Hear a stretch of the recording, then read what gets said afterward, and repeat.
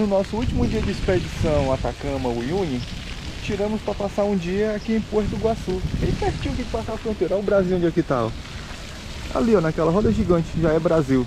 Então a gente vai aproveitar, vamos conhecer aqui o marco, vamos lá nas cataratas, vamos ver a garganta do diabo, vamos, vamos, vamos aproveitar. Põe esse vídeo para você conhecer um pouquinho de Porto Iguaçu. Vamos aproveitar a Argentina até o último instante que a gente conseguir. Sim, tem muita novidade, muito perrengue, hein? Assiste até o final.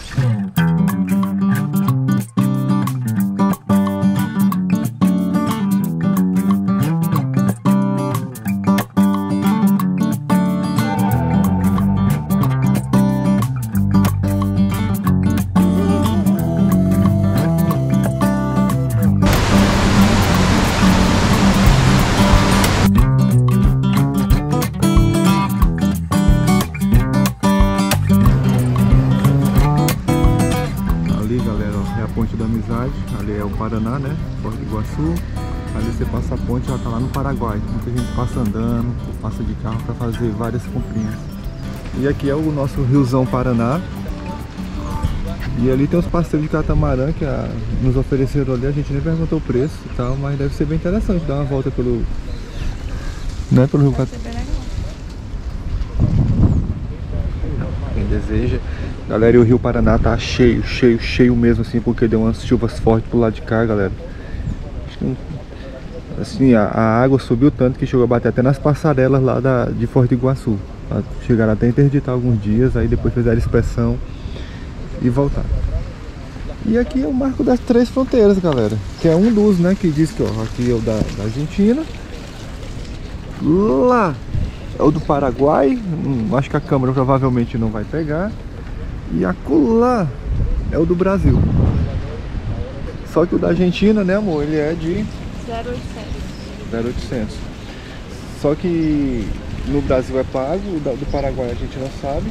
Isso do Brasil é pago, mas é todo, todo instagramado, tem shows lá à noite. Aqui eu não sei se tem. Tem um restaurante. E um, e um espetáculozinho de água aqui, umas águas subindo, é. que inclusive parou agora.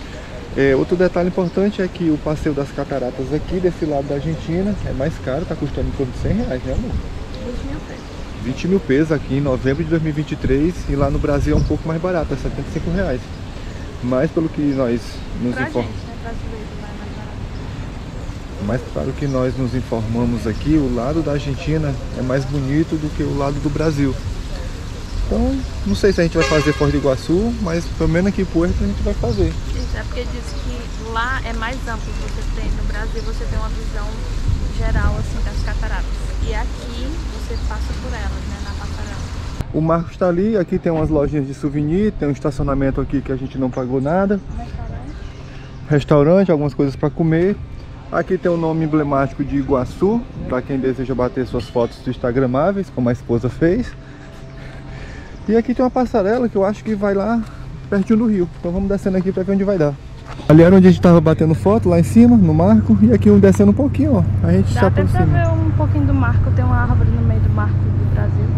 Simbora pra catarata? Simbora. Tem um negócio que eu achei estranho aqui. Que eu, que eu acho, amor, que no Brasil também é igual. Sabe o que é? A gente visitou, galera, várias vinícolas. Várias lá. Várias não, seis, né, amor? Cinco umas mais ou menos e umas boas ondas. Quem não viu, tem vídeo aí pra trás vocês verem em Mendonça lá as vinícolas. Cara, a gente visita a vinícola, vê tudo. Paga na... caro pela, pra visitar a vinícola. Paga caro na, pra, pra fazer as, o tour lá por dentro. Na hora de você ir pra loja, é apresentado todo o leque de vinho que eles têm, todos os rótulos. Cara, tá lá os preços. Só que quando tu vai no mercantil, tá na metade do preço. Quando a gente chegou aqui na, em Porto Iguaçu... Tava mais barato ainda. Tava mais barato ainda. Aí, cara... eu acho que no Brasil é do mesmo jeito. Se você vai ali em Gramado, em Canela, você vai fazer aqueles passeios lá de vinho. Se você for no mercantil, o mesmo vinho lá é bem mais barato. É. Então fica a dica, não compre em Mendonça. Compre aqui em Porto. Se você quer comprar em Mendonça, compre no mercantil. É. Ou numa feirinha que tiver Mas por lá. saiba que aqui tem. é mais barato. É. Porque às vezes a pessoa não, não vai por dois cantos, né? Vai só pra lá. Aí tem que entendeu? Mas aí fica essa dica aí pra você. Mas se você quiser comprar na vinícola, porque fica aquela sacolinha. E no caso do marido, ele provou um que ele gostou muito. Não tinha, não era no mercantil. Não tinha. E aí ele perdeu, porque ele Pois é, aí você tem que ver também isso. Tinha um Malbec lá que era muito bom, viu? Que era da Catena. Mas ele comprou um melhor, não foi, Marina? Comprei um melhor e mais barato. Foi, saiu mais barato. Você ideia, na eu tava saindo quase mil reais, né amor? Mil reais. Mil reais. o que ele queria. Entendeu? Que é esse daí, ó, da foto. E aqui comprou de 300, foi? E aqui compramos de 300. Se, eu, ali. se a gente fosse uma pessoa assim que bebesse muito vinho, fosse aquele negócio, a gente teria comprado umas três garrafas pra comprar, mas Sim. como a gente só quer mesmo pra enfeitar a estante, E beber quando tiver perto de vir de novo pra comprar outra. aí se compramos só o mesmo e algumas coisas a mais.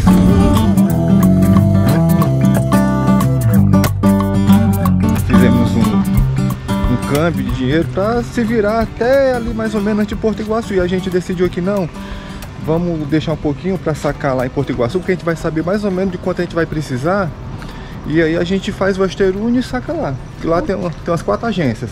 Um ponto, a gente tinha um dinheiro já pra pagar hotel, pra jantar, tinha um dinheirinho guardado, né? Mas fomos visitar umas pedras preciosas aí, né? Quem não viu o vídeo, volta. Pois é, aí a- lá na Wanda, A cara, Wanda comeu tudo que era peso. os pesos ficou bem pouquinho. Quase a gente não, a gente não ficou com dinheiro nem para pagar a hospedagem, para falar a verdade, né? Aí quando a gente chega aqui, galera, em Porto Iguaçu, duas informações. Um era que o Asterune estava fora do ar. Sempre é muito difícil tirar dinheiro aqui no Esterônio, aqui em Porto Iguaçu. Então, se você vem com essa intenção, já venha preparado, porque a gente conseguiu uma vez só, né? Foi uma vez e foi com muito sacrifício. E a outra informação é que a cidade está sem peso. Então mesmo que a gente tivesse dinheiro, era difícil. As casas de câmbio, galera, não tinha dinheiro, pra você ter ideia. Os caras não, a gente tá sem peso. Aí um, um nativo aqui disse que o pessoal tá comprando peso na esperança de com o novo governo ele ele se valorizar e a galera ficar com peso guardado, não sei o que, umas, umas coisas econômicas aí. Isso. E uma sexta-feira, né? O pessoal do Brasil em peso vem pra cá. Então, É, galera, o Brasil desce quase todo aqui em Porto Iguaçu. É um negócio incrível, assim, só vê muito brasileiro. Ó, essas imagens que eu vou mostrar pra vocês aí à noite, pode ter certeza, 95% acho que 100%. não é 100 porque tem uns nativos Ah, trabalhando, é né? verdade. Galera, é, é brasileiro, tem muito, muito brasileiro assim. Você se sente em casa, a galera fala português, os vendedores, o pessoal já dá o preço em real.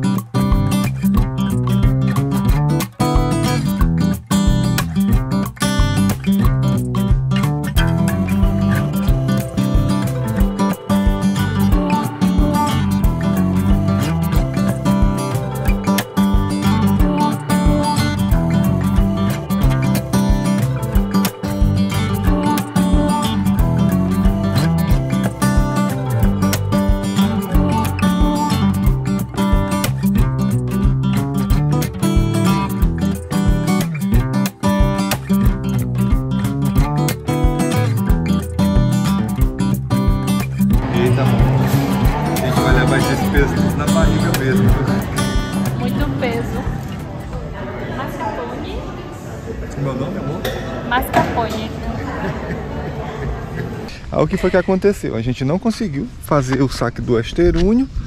Tínhamos 200 reais, a gente, eu procurei ali pelas ruas ali um, um câmbio, não tinha dinheiro. Aí eu falei com um cara de turismo, o cara disse, não, conheço um rapaz aqui que faz. Ele me levou lá na sapataria. O proprietário lá tinha uns real, um- uns pesos, aí trocou uns 200.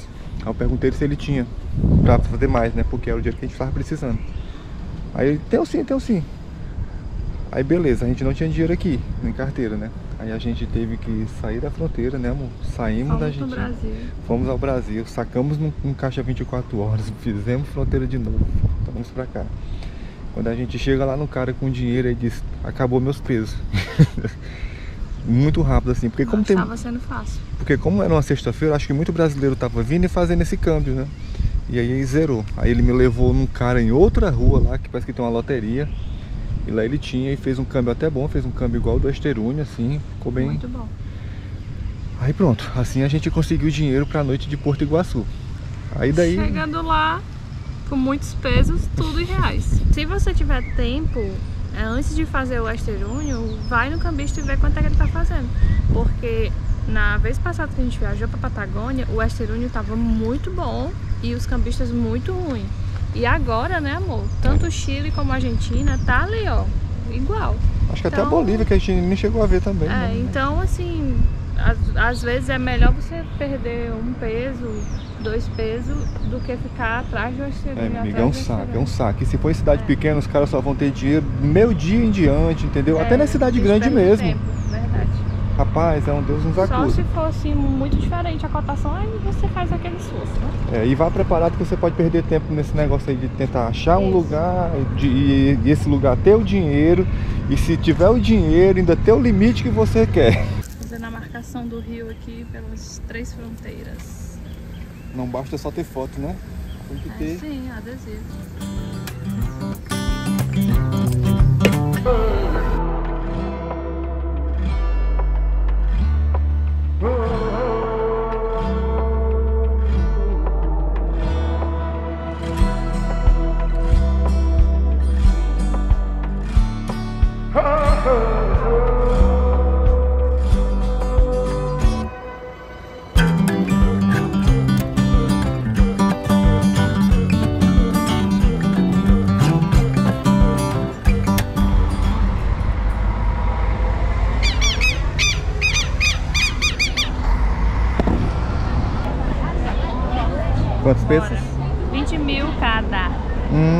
E a filhinha?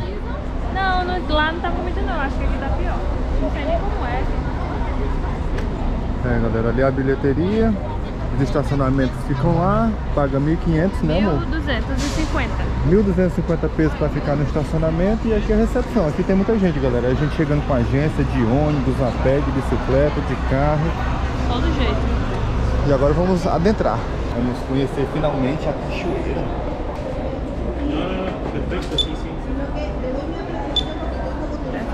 E a gente ia fazer esse passeio ontem, galera. Só, só que nós acostumados com os preços amigáveis dos argentinos, viemos com poucos pesos. E aí chegamos aqui, era 20 mil por pessoa e a gente, como a gente já explicou, né, estávamos com pouco peso. E aí fomos tentar fazer um câmbio aqui que tem um rapaz que faz, a gente estava com 200 reais, então ia dar certo. Só que ele estava fazendo 130, um real. E tá mais ou menos 178. Graças a Deus que a gente não fez porque tava muito ruim.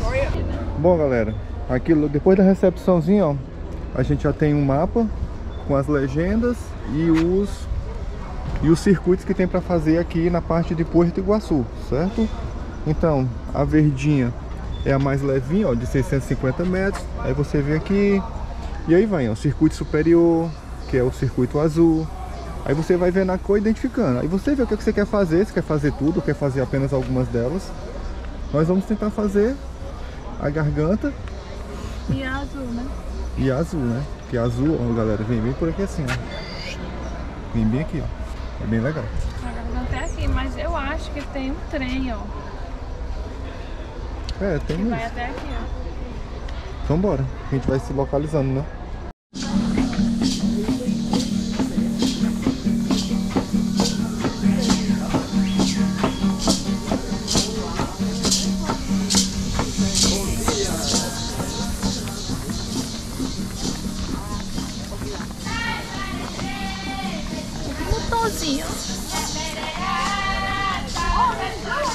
É, devido às chuvas que, que houve, tá tudo fechado, arrastou passarela, arrastou tudo e aí fechou com a segurança dos turistas, galera. Não tem nem passarela, né? Arrastou até as passarelas. Arrastou, arrastou. Ou seja, eles vão ter que refazer. Acho que vai demorar um pouco pra, pra reabrir. Aí tudo bem, mas tem um trenzinho aqui que é, andar de trem. que é 0800, 0800 assim, né? Tá no pacote lá dos 20 mil. E vamos ver o que, é que dá pra fazer aqui e ver. Mas tudo bem. Vamos lá ver as cataratas. Em Porto Iguaçu é o, é o símbolo ao tucano. Tucano. A gente vê tucano de em souvenir, tucano de gesso, tucano de pedra, tucano de todo. Só não vejo tucano de verdade.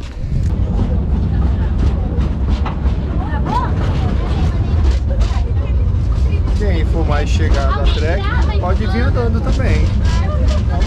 É, não estamos para. Então vamos de trenzinho, bonitinho aqui, Nutellazinho total.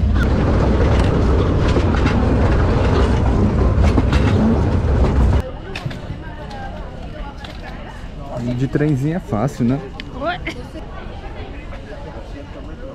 A esposa disse que viu essa maquininha aqui, ó, que só, só viu em filme. Aí ela achou uma aqui agora e já tá ali na filinha pra comprar um negócio desse. Esse menino mesmo,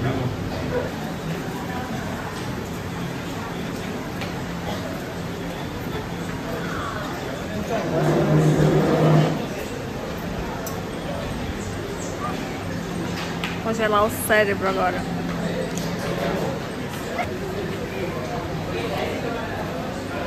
Cedo?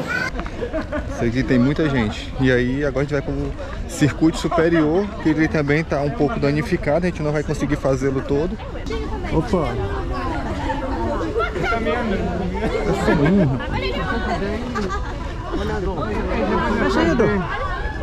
Tiene un bebé.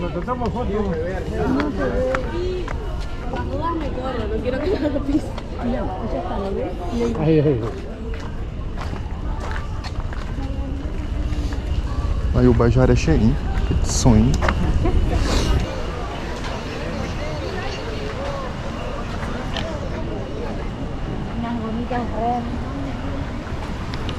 E ali estão, galera.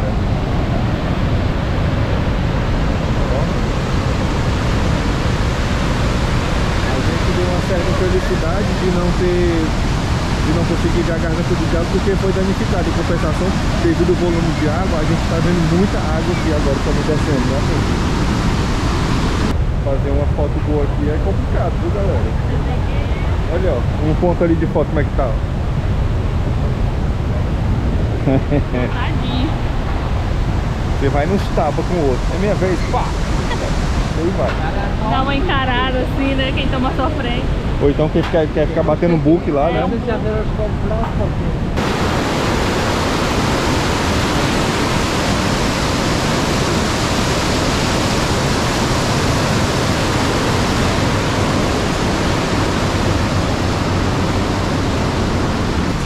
Vai evacuar.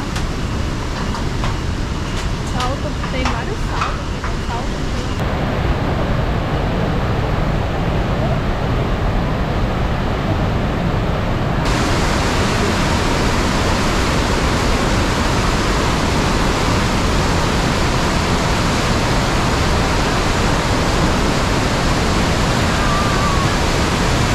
É um curvo bem grande, né? Por aqui por cima das cataratas.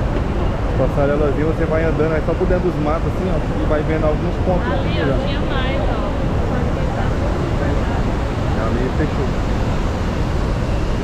E agora a gente vai ali, ó, atrás de disputar um, uma foto ali. Aqui é o superior, ainda tenho o inferior. É, o inferior é mais, eu acho que é mais bonito, porque você consegue ver a altura dela toda assim, É. caindo, né? Você passa pela Pensa num banho, galera. Banhozinho! Essas águas aí sobem, ó.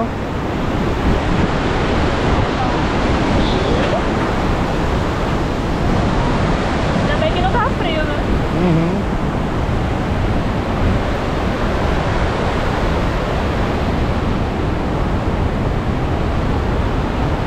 Uma informação sobre o parque é que tem tudo aqui dentro, cara, que você precisa. Tem, tem banheiros, tem restaurantes, sorveterias. Petisco, cozinha. Só que os valores, como já era de esperar, a gente achou um pouco mais alto do que o que a gente encontra aqui na cidade. Isso, mas assim, é normal de lugar turístico, parque. Eu tenho certeza que lá no Brasil uma parrilha, parrilha dessa com buffet livre ia ser bem mais caro. Pois é, e aqui tava bonito as comidas, tá? As carnezonas e tal. Só que, a, vamos dizer, razoável. só que aí a gente decidiu não, não comer aqui, não. Não, por quê? Vamos comer num local que a gente sabe que também vai estar bom e Ali no, no centrão de Porto Iguaçu, menino. Metade do preço. Bora.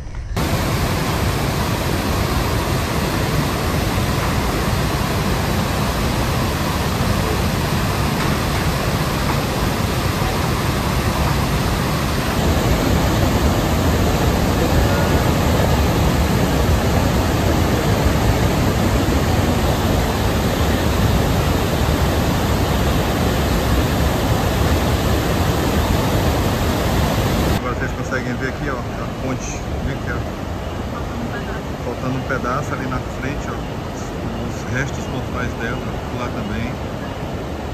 Foi realmente um, muita água, galera, pra ter derrubado isso aqui.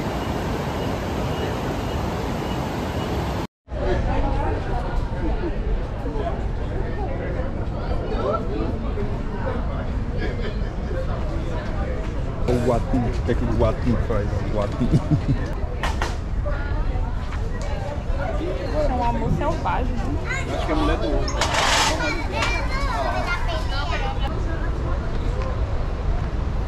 Que bicho é esse? É um tamanduá, né? Sei lá galera, uma das vistas inferiores aqui, ó.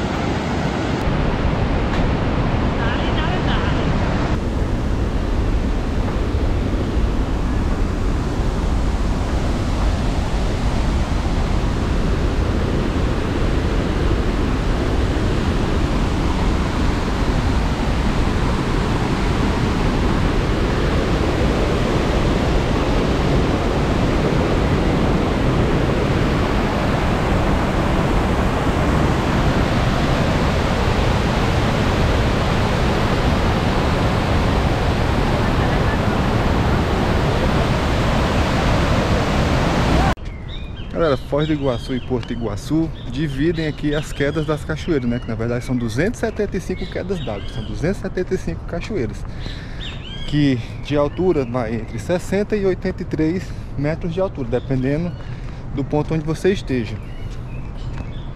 E essa água toda, galera, acaba alimentando toda essa floresta tropical que tem aqui. Tem centenas e centenas de, de espécies, apesar da gente só ter visto duas até agora Coati e o macaco. um coati e um macaco. Lá, na- lá no Sobral chama Soim. A maior parte das cachoeiras ficam do lado argentino. Né? Quase 73% da, da Foz está do lado argentino. Se tudo tivesse funcionando, todo aquele roteiro que a gente mostrou para vocês no início, nós precisaríamos de um dia todo aqui para conhecer ou dois, e assim, se você quiser fazer com calma e batendo foto, não sei o que. Hoje tava uma loucura aqui, não tinha nem como bater foto, né amor? Não, tinha não. Tava. Você parar na passarela, o pessoal lhe levava. Aqui você pode trazer seu lanche, tem umas áreas abertas, tem umas mesas. E no Brasil a gente vê muito restrições para poder meio que você ter que comer lá, né? Aqui não, a gente não viu muito isso não. Mas é, é de boa. É, Mas assim, venha com o tempo, porque você vai precisar. Somente se tudo estiver aberto, porque você vai precisar andar bastante, tá? Bater foto. Isso tudo leva tempo. Dá pra almoçar por aqui. Tem um hotel aqui também que a gente não faz ideia de quanto seja. Vamos pegar o trenzinho de volta, vamos almoçar no centrão ali de Porto Iguaçu, E depois partiu o Brasil. fazer fronteira.